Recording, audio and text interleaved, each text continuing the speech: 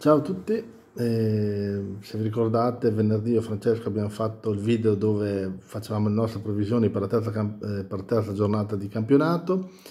E qui vado un po' a leggere dopo i risultati di Bologna-Verona quelli che sono stati un po' gli esiti. Allora, Empoli e Venezia, ha vinto il Venezia 2-1 e noi eravamo convinti che vincesse l'Empoli, quindi insomma questo qui l'abbiamo sbagliato tutti e due.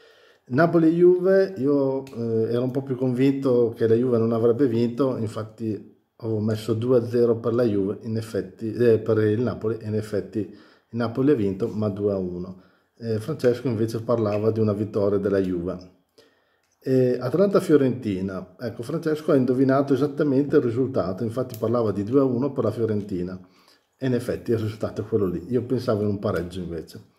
Sampdoria-Inter, mm, Qua invece sono stato più bravo io perché ho indovinato esattamente il eh, punteggio che era 2 a 2 e infatti è stato 2 a 2. Per Cagliari-Genoa mm, avevamo detto tutti e due eh, che avrebbe vinto il Genoa, infatti ha vinto il Genoa con un, un gol di scarto, noi avevamo detto che avrebbe vinto 1-0, la partita è stata un po' più ricca di gol ed è finita 2-3 per il Genoa.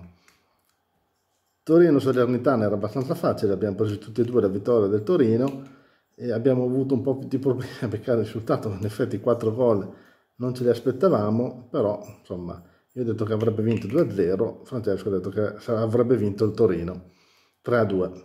Abbiamo detto tutti e due che avrebbe vinto il Torino, l'abbiamo azzeccata, ma non certamente il risultato. Spezia Udinese ha vinto l'Udinese 1-0, noi avevamo detto tutti e due che avrebbe vinto, sì, ma di due gol. Milan-Lazio, io ho indovinato che avrebbe vinto il Milan, ho detto che avrebbe vinto 1-0, in effetti però poi alla fine ha vinto 2-0. Roma-Sassuolo, davamo tutti e due la Roma favorita, e guardando la partita, l'abbiamo guardata assieme, in effetti eh, non era poi così, così, eh, così netta la, la dominanza di, della Roma. La Roma ha giocato meglio, per carità, ha fatto una bella partita, mm, ma anche Sassuolo si è fatto intendere. E comunque la Roma è riuscita a vincere, soddisfazione di Francesco che è romanista, come voi sapete, però eravamo stati più larghi noi nel, nel, nel, punteggio, infatti lui parlava di un 4-1, io parlavo di un 3-0. E Bologna e Verona invece abbiamo beccato tutti e due, tutti e due abbiamo detto 1-0 e in effetti 1-0.